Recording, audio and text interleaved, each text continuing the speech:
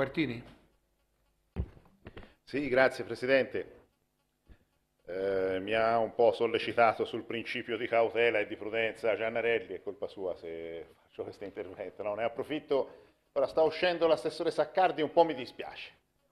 No, no non, per, non per richiamarla, eh, no, ma eh, ne approfittavo anche, approfittavo anche della, della tua presenza, che mi sembra invece importante rispetto a quello che volevo dire, sia rispetto al concetto di prudenza e cautela, condivido quanto ha detto Fattori, quindi non entro in merito all'aspetto energetico e a quello che naturalmente...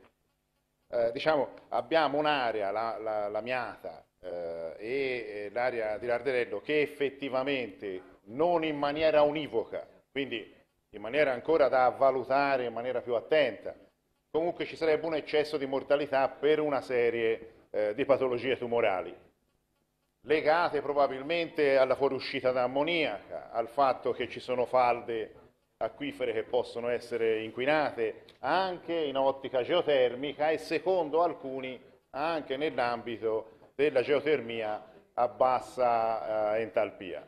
Quindi chiaramente il principio di cautela ci dovrebbe suggerire eh, dire, di approfondire meglio e di sentire anche eh, la fonte di questi eh, studi scientifici eh, che ci raccontano anche di questi, di questi, elementi. Per esempio sulla miata c'era uno studio eh, promosso da Medicina Democratica e che ce l'hanno fatto vedere al convegno che abbiamo organizzato qui sull'amianto e la geotermia 15 giorni fa, che mostrava un 12% di eh, mortalità, eh, di eccesso di mortalità eh, nell'area amiatina. C'era un geologo che ha raccontato anche del rischio sismico incrementato anche sulla bassa eh, entalpia. Perché mi interessava eh, dire, la presenza eh, dell'assessore?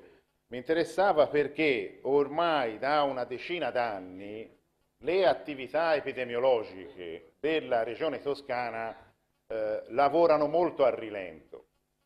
Il più delle volte eh, viene invocata la carenza di personale nelle strutture che si dovrebbero occupare di epidemiologia. Per esempio eh, noi abbiamo richiesto con i nostri consiglieri comunali referti epidemiologici dei comuni per capire eh, l'impatto delle patologie all'interno delle microaree e non riescono a fornirceli, eppure il referto epidemiologico sarebbe una cosa ottima. C'era un ottimo registro tumori all'ISPO, giusto appunto, al CSPO. Abbiamo avuto probabilmente la più brava epidemiologa d'Italia, che era Eva Buiatti, e che aveva messo insieme un ottimo lavoro da un punto di vista epidemiologico, sia in termini di registro tumori, sia in termini eh, di registro di mortalità regionale, con la possibilità di geolocalizzare anche eh, gli eccessi di rischio.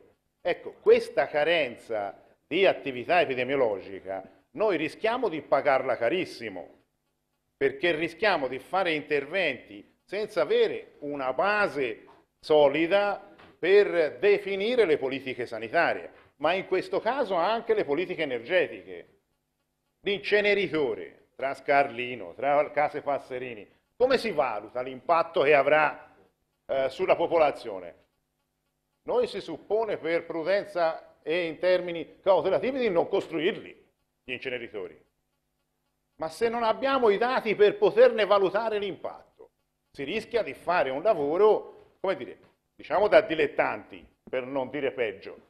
Questo è un pochino il rischio. Noi abbiamo una carenza di attività epidemiologica e si va avanti, magari anche giustamente in termini di contenuto, ma poi diventa un rischio propagandistico parlare solo di vaccino dell'HPV a livello di strutture epidemiologiche che lavorano da questo punto di vista in termini eh, ridotti. Spero, ne parleremo anche poi in commissione terza quando verrà Francesco Cipriani dell'ARS, che comunque eh, gli abbiamo fatto anche richiesta come commissione eh, di vedere se si poteva realizzare il progetto referto epidemiologico a livello eh, centralizzato invece che eh, a livello eh, di periferia, quindi potrebbe essere un progetto interessante. Io credo che se si parte con queste eh, considerazioni, credo si possa fare su molte cose anche delle cose buone. Se invece non si fa questo tipo di attività, si corre il rischio, l'ho detto, di essere un po' dilettanti anche della politica.